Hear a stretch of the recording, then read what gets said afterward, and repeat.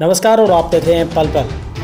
जिला भर में मादक पदार्थों के तस्करी के खिलाफ चलाए जा रहे विशेष अभियान के तहत महत्वपूर्ण सूचना के आधार पर की गई कार्रवाई में बीती रात को जिला सीआईए पुलिस द्वारा एक कार से 45 लाख रुपए की 450 ग्राम हीरोइन बरामद की गई है।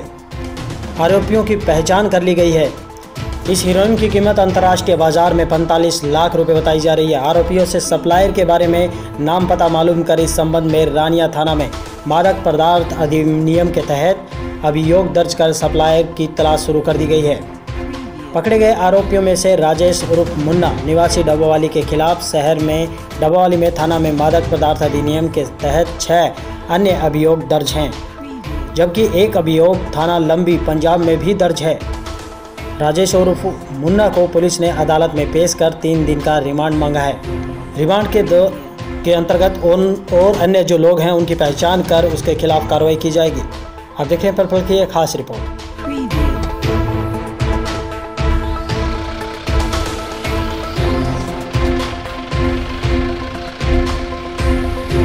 बीती रात को आ, हमारे पास सूचना थी कि भाई कोई तीन बंदे आ, नशे नशा हेरोइन या कोई इस तरह का नशा लेकर और ओ टू हेड से होते हुए डब उधर राजस्थान की ओर जाएँगे।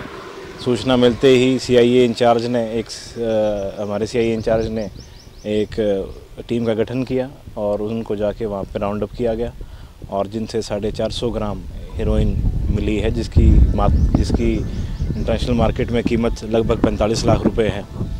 और वहाँ पर उनके जो तीन बंदे गिरफ़्तार हुए, उनमें से एक मुन्ना जैन है।